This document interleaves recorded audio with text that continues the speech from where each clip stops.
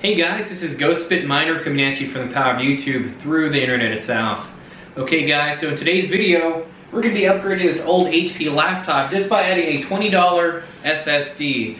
You'll see a world of a difference. Stay tuned for the video guys so I can show you how to do it.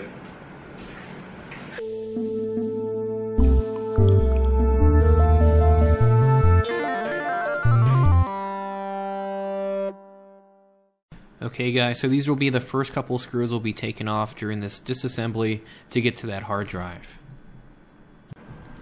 Okay, and here we go. So let's go ahead and grab our trusty screwdriver and start by unscrewing the outside screws on the back of the laptop. And before we do that, let's go ahead and disconnect the battery. And let's grab that screwdriver once more and our spudger tool. So these two things are pretty much all you'll need during this disassembly process. Also, a magnetic tray would help since there's going to be a lot of screws. And again, you don't want to lose any of these screws because that will be a hassle trying to find them. So let's just use a magnetic tray just like that. And here we go. Pretty easy first couple of steps. Uh, nothing fancy about this. Just take all the screws off the back of here.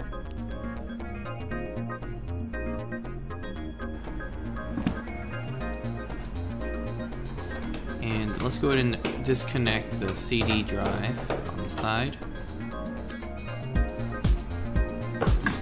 And also this little cover right here is actually, you're gonna need the spudger tool to pop that up. This is what's gonna be holding the upgradable RAM and the Wi-Fi card. These have a little washer holding those in place so those actually don't get disconnected. They just stay right there. And let's take off the internal screws, just like in the picture.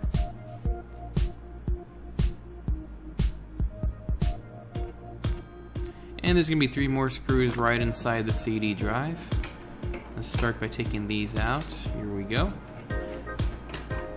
These screws are a little bit different, so it's really hard to mix them up. Let me go and show you how the screw looks. As you see, silver and pretty flat. So don't worry about mixing those up. Those are very unique compared to the black outside screws.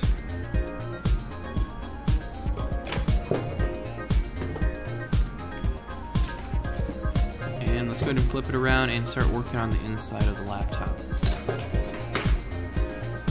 So let's grab that spudger tool once more. And let's start by popping the front of it up. The reason why I like these thinner spudger tools is it's really hard to break your computer or make a mark on your computer. And let's go and speed it up a little bit.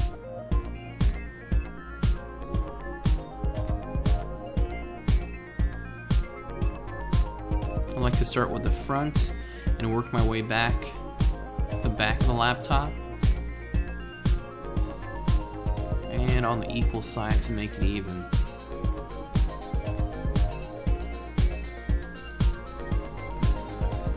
Okay, again with the spudger tool, we're to start by lifting up the keyboard. You're to start right by the back of the keyboard by the escape key, golden. Go ahead and be nice and gentle, just wiggle it until you hear some clicks.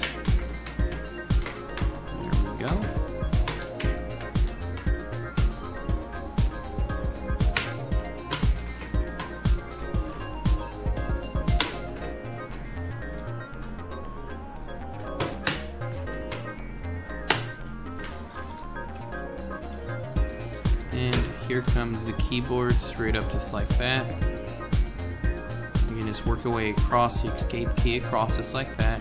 Nice and slow, you'll start hearing it pop up. Now let's work on that ribbon cable.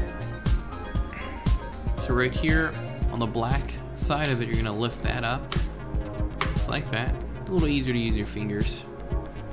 There we go, let's lift it up and just gently pull the ribbon cable out. Now we can put the keyboard assembly out of the way.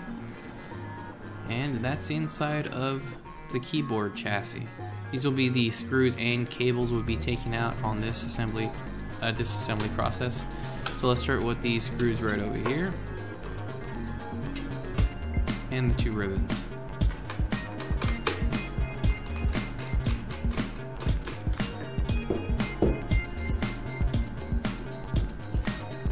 let me go ahead and show you how these screws look. Again, they are different from both the CD screws and the back screws. These are a little bit smaller in size. So again, pretty hard to mix them up.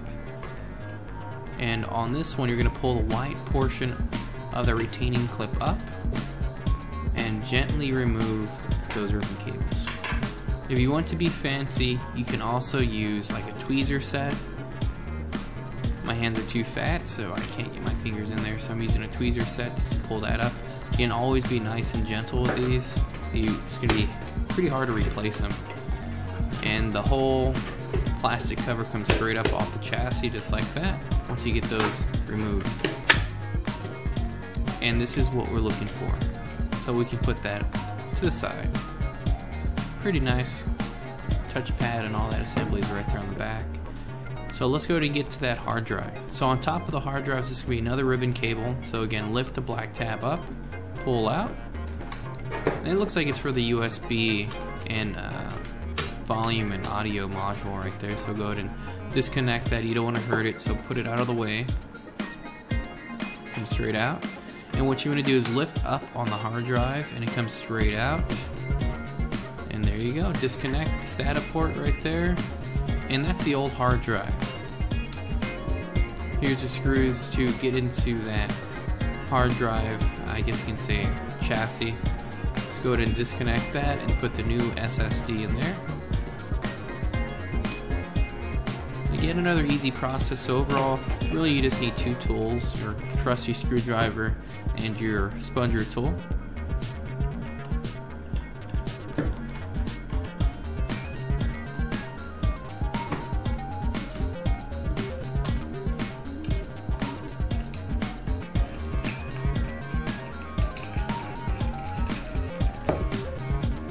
Again, these screws are different as well. So they're silver, and since you just took them off, you shouldn't be able to mix them up right away. So let's go ahead and take that out of there. Keep the orientation the same on both of them so you don't mix them up. Everything looks good. Put the old hard drive out of the way. And let's go ahead and connect the SSD to this little hard drive uh, chassis.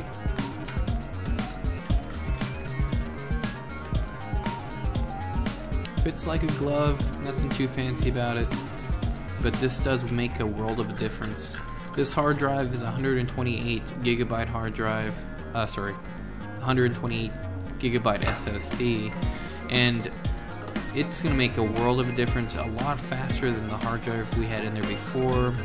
Um, and it's a $20 hard drive, so super easy fix to a lot of the slowing issues you might be having, especially with the mechanical drives if you dropped it and you start noticing a lot of weird sound coming from it.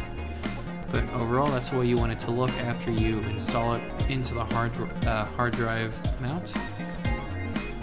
Go ahead and plug back in your SATA port right there.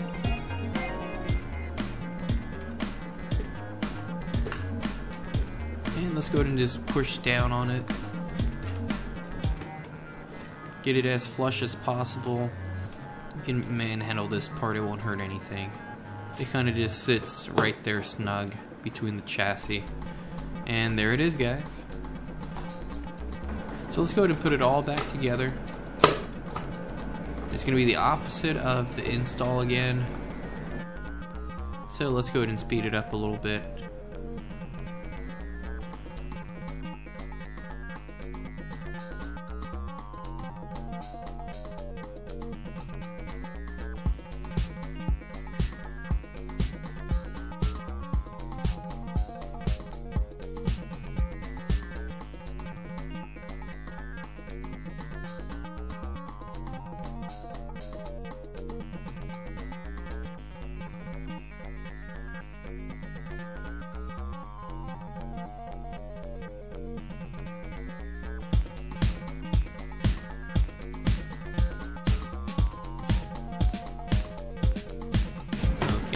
So let's go ahead and put the keyboard back on, make sure it's connected to the ribbon cable, and it has three attachment points right here, so just press down equally on each side to make sure you draw the clips. Just make sure it's perfectly in place, just like that. And let's go ahead and get the chassis, do the same thing, just wait till you hear those clips in place, there we go. Looks good. And let's go ahead and flip it back to the back side and screw it back in. So I always like to start with the CD tray first. So let's grab those silver flat screws and let's put those in place so we don't forget about them. And pretty much it's easy from here, just grab all your screws, put everything back where it came from, and you'll be good. Put the CD tray back in there, screw that in place. And just put all your other screws back. Nothing too crazy about the assembly process. Again, it's the opposite of the disassembly process, of course. And at the end of this, you want to make sure you have no screws remaining.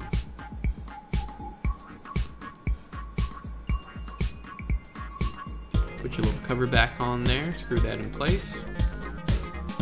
And lastly, go ahead and put your battery back on. And there we go guys, your PC now has a SSD instead of a old, slow hard drive. This will make a world of difference guys. Okay guys, so that's pretty much it. So depending on what you want to do, you can either get one of these nice USB to SATA um, connectors and you can transfer your old data from your previous hard drive to your new SSD. Of course that is if you have important information on there, you can do that. Um, but let's say, just like this drive, it had some crashes, it was crashing, couldn't figure out why, could have had some virus on there. So I'm going to go ahead and dispose of this properly, and I use my USB boot drive from Windows 10 to actually install a brand new Windows 10 operating system. Go ahead and click this link right here so you can see how to do that. Anyways guys, this was GhostBit Miner coming at you from the power of YouTube through the internet itself, and I'll see y'all in the next video. GhostBit Miner out.